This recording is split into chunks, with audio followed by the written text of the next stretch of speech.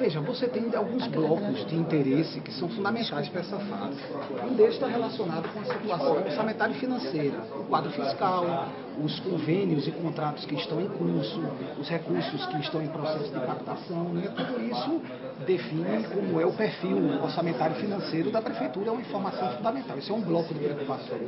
O outro bloco diz respeito a contratos que estão em curso e que são fundamentais para não haver descontinuidade na prestação de serviços importantes. E aí a gente cita o exemplo do serviço de saúde, né, o início do ano letivo, do ano escolar, é, o próprio carnaval que vai acontecer logo no começo de fevereiro, então nós vamos ter que já em janeiro não vamos poder ter descontinuidade desse processo, a prefeitura já está tomando providências e isso vai ser feito em parceria.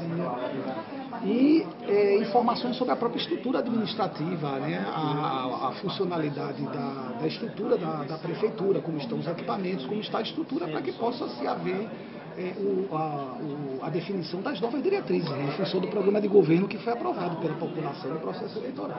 Então é uma coisa muito tranquila, são os blocos de preocupação que normalmente precisam estar presentes no processo de transição.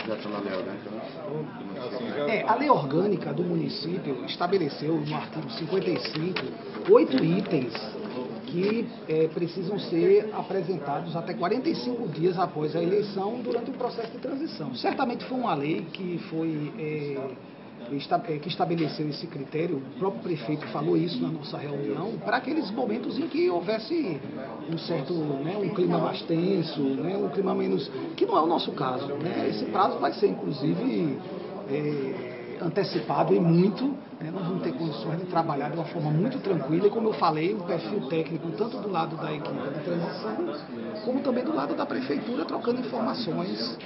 É, essa equipe de Geraldo começa é, coordenada pelo senhor, mas quem vai estar presente? Veja, nós ainda vamos montar, né, nós estamos com um espaço. É, na verdade, o prefeito eleito, Geraldo Júlio, ele, ele é, apenas indicou a coordenação certo, da equipe e nós vamos montar a equipe com perfil técnico.